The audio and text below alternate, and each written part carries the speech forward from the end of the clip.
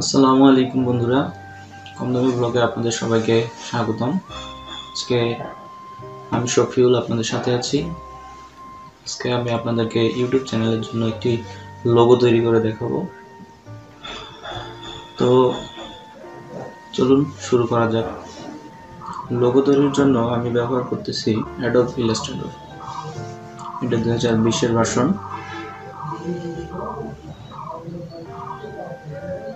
চলুন প্রথমে একটা নতুন উইন্ডো নেওয়া যাক। কন্ট্রোল প্লাস এন তো এখানে নতুন উইন্ডোতে দেখা যাচ্ছে যে আমি কাস্টম একটা উইন্ডো নিচ্ছি, যেটা আর্টবোর্ডের সাইজ হচ্ছে পঁয়তাল্লিশশো পিক্সেল এবং হাইট হচ্ছে চুয়ান্নশো পিক্সেল এই লোগোটা যেহেতু প্রিন্ট করা হবে না, শুধুমাত্র ওয়েবের কাজে ইউজ হবে, তো সেজন্য এটা আট জিবি কালার রেখে দেব। রাস্টার ইফেক্ট থাকবে তিনশো পিক্সেল পার ইঞ্চ তারপরে ক্রিয়েট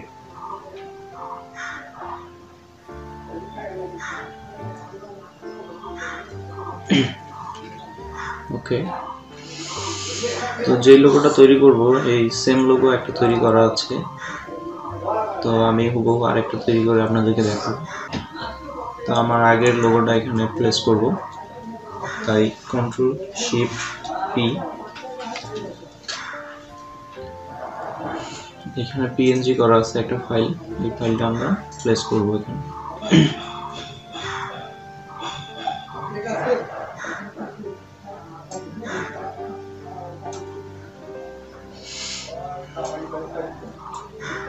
যে একটা লোগো যেটা আমি এই চ্যানেলের জন্য তৈরি করেছি।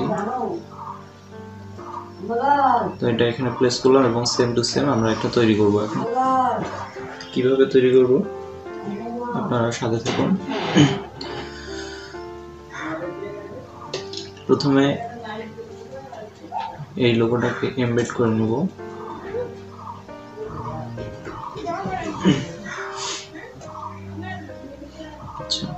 এটাকে আমরা পাশে রেখে দিই।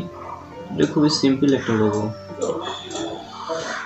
এখানে শুধু টেক্সট আছে, তিনটা শেপ আছে, আর কালার তো প্রথমে আমরা টেক্সটটা নিয়ে নেব।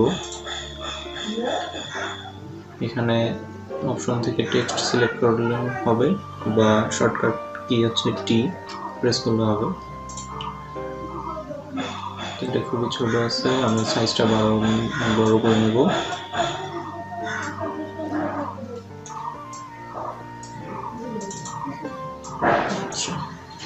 এটা কেটে দিয়ে আমার চ্যানেলের নামটি লিখব।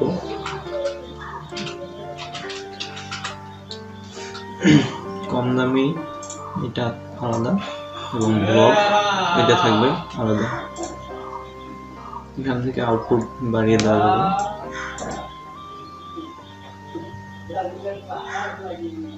বা আমরা যদি চাই সিলেক্ট বাটন প্রেস করে আই ড্রপার টুল সিলেক্ট করলাম, করে এই টেক্সটের উপর ক্লিক করলেই সেম আরেকটা সেম সাইজেরই আরেকটা টেক্সট চলে আসবে। এখানে আমরা এই ব্লগ লেখাটা লিখব।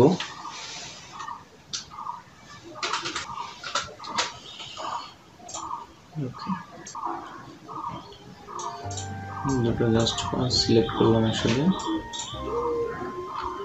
এখন এই ফন্টটা আমাদের আলাদা এবং এইখানে যে ফন্টটা ইউজ করা আছে, এই ফন্টটা কিন্তু আলাদা।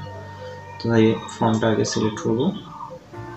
এখানে গিয়ে এই ফন্টটার নাম হচ্ছে স্পিড আমরা স্পিড লিখে দেবো এস পি ডাবল ডি এই যে বন্ধু, চলে এসছে। ক্লিক করলাম। দুটার সাইজ একটু বড় মনে হচ্ছে, তাই সাইজটা আমরা একটু ছোট করব। কম শিফট প্লাস অল্টার চেপে একটু ছোট করে নিলাম। কিবোর্ডে আরও চাপ দিয়ে একটু সাইডে নিয়ে যাচ্ছি।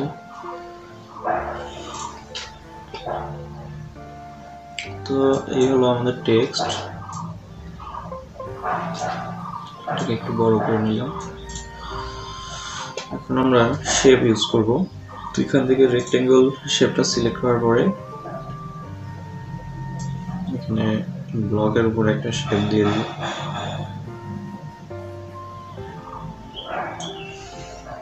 তো শেপটা এখন আমাদের উপরে আছে, এটা একটা কালার দিয়ে দিই যে কোনো কালার আর এটাকে এখন নিচে পাঠাবো control shift second bracket open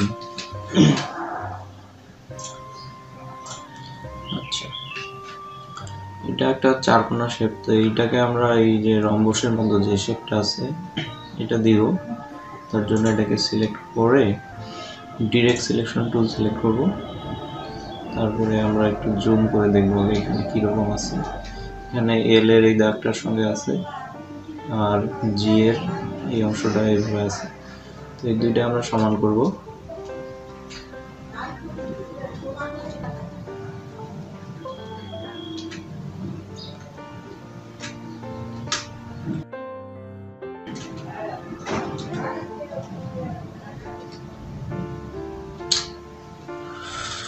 দুঃখিত বন্ধুরা।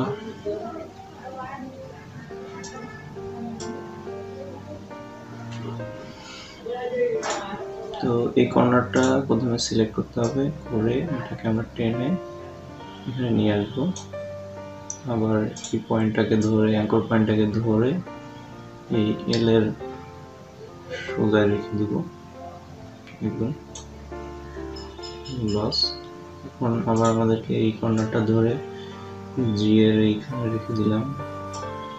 সেম এই কর্নারটা ধরে তো যেহেতু একটু কম বেশি মনে হচ্ছে, তাই আমরা এটাকে আবার সোজা করে নেব। যত জুম করবেন, কাজের পারফেকশন অত বেশি আসবে।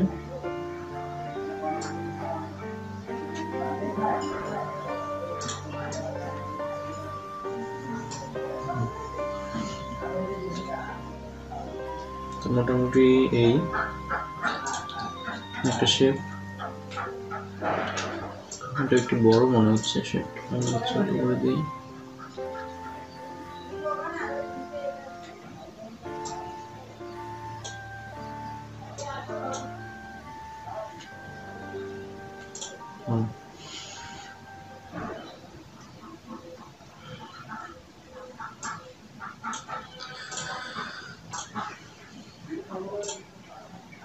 তো এই শেপটাকে ধরে এখন আমরা অল্টার প্রেস করে সেম টু সেম আরেকটা শেপ কপি করে এই কর্নারে প্লেস করব।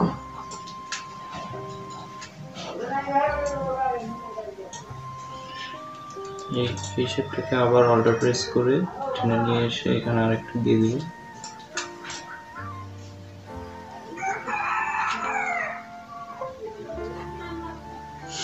তো এখন কালার দিতে হবে।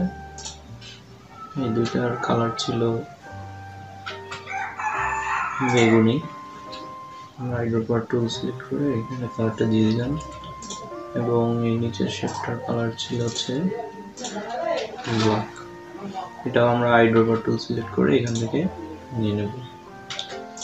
আচ্ছা এখন এই লেখাটার ব্লগ লেখাটার কালারটা ছিল বেগুনি, তাই আমরা এই ব্লগ লেখাটা সিলেক্ট করে আইড্রপার টুল দিয়ে এটা কালারটা দিয়ে দেব। আচ্ছা তো এই ব্লগ লেখাটার নিচে আবার শ্যাডো দেওয়া আছে। এখানে কিন্তু শ্যাডো এখনও দেওয়া হয়নি, তাই প্রথমে আমরা এটাকে শ্যাডো দিয়ে দেবো সিলেক্ট করার পরে। ইফেক্ট স্টাইলাইজ ড্রপ শ্যাডো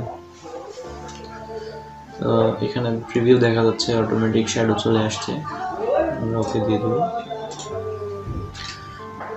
তো এখানে এই শেপ দুইটা, এই দুইটাতেও শ্যাডো দিতে হবে। দুইটা আমরা আলাদাভাবে শিফট চেপে আলাদা আলাদা ক্লিক করে সিলেক্ট করে নিলাম। আবার effect stylize drop shadow okay এখন এই কম দামি লেখাটা এখানে কিন্তু এই বেগুনি কালারের নিচে শ্যাডো দেওয়া আছে এটার মধ্যে নাই। তাই আমরা এটাকে আলাদা আলাদা কাজ করার জন্য এটাকে প্রথমে এক্সপ্যান্ড করে নেব তাই অবজেক্ট এক্সপ্যান্ড তারপরে এটা এখন একটা গ্রুপ আকারে আছে এই গ্রুপটাকে আমরা আনগ্রুপ করে নিব কন্ট্রোল শিফট জি তাহলে এটা আনগ্রুপ হয়ে যাবে। এখন আমাদের আলাদা আলাদাভাবে প্রত্যেকটা অক্ষর সিলেক্ট করতে পারতেছি। তো প্রথমে এই তিনটা কালার দিয়ে দেব। আইড্রপার টুল সিলেক্ট করে দিয়ে দিলাম। তারপরে এই তিনটা আবার সিলেক্ট করে এখানে যেহেতু শ্যাডো দেওয়া আছে শ্যাডো দিয়ে দেবো। ইফেক্ট স্টাইলাইজ ড্রপ শ্যাডো এখন কিন্তু এরকম লাগতেছে লেখাটা। শ্যাডো দিলে লেখার দেখতে অনেক সুন্দর লাগে। এখন আমরা এইটার কালারটা দিয়ে দেব। তাই চারটা ওয়ার্ড সিলেক্ট করে হাইড্রোপার টুল দিয়ে এখান থেকে কালারটা নিয়ে নেব।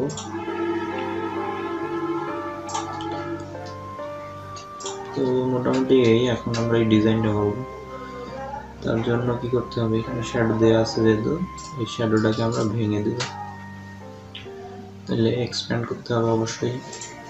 Object expand appearance object expand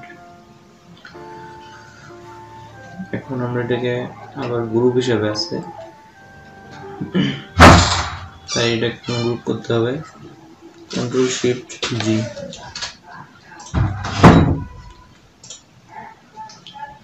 এখন এটা আলাদা আলাদা সিলেক্ট হচ্ছে। তো ডিরেক্ট সিলেকশন টুলটা আমরা নিব। শর্টকাট কি হচ্ছে? এ এটা নেওয়ার পরে এই যে এখানে দেখা যাচ্ছে ফোটাগুলো আছে চার চার কর্নারে চার কর্নারে চারটা ফোটা তো আমরা স্পেসিফিক্যালি এইটাকে সিলেক্ট করে এখানে আগে দেখব, এই কর্নারটা আমাদের আছে। তো আমরা এটা সিলেক্ট করে এটাকে টেনে এভাবে বাঁকা করে দিব, যতটুকু দরকার।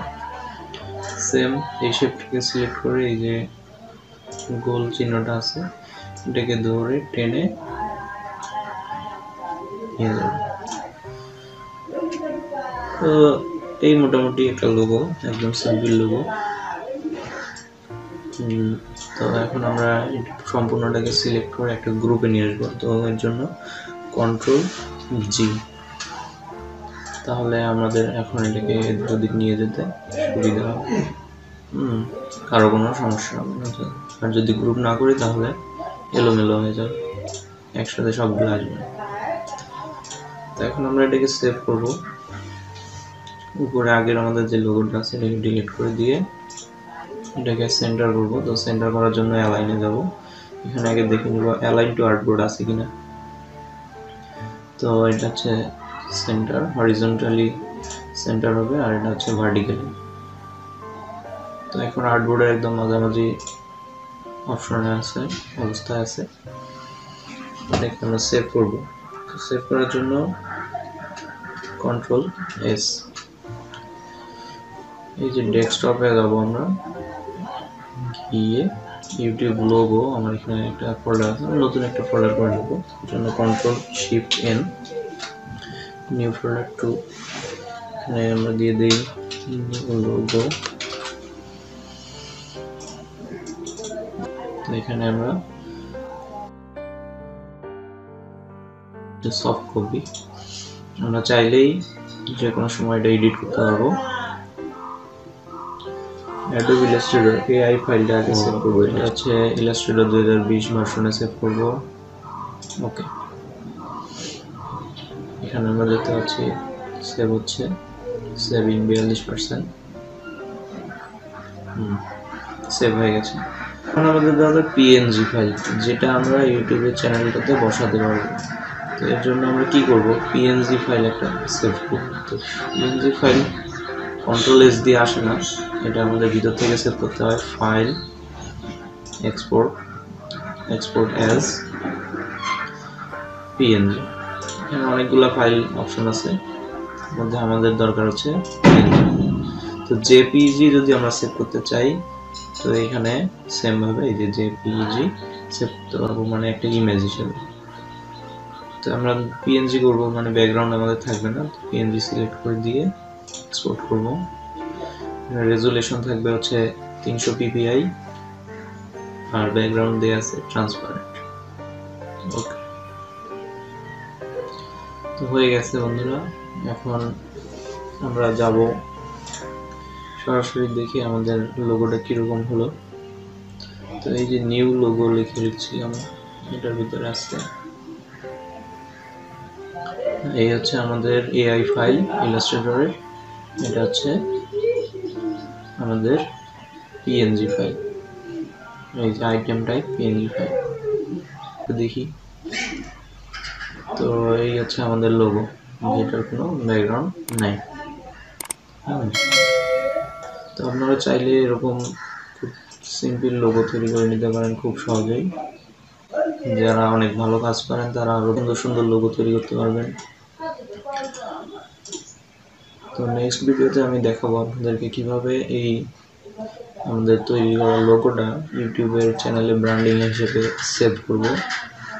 প্রত্যেকটা ভিডিওর উপরে এই ইমেজটা আমাদের শো করে বা এই পিএনজি ফাইলটা চ্যানেলের নামের মতো শো করে।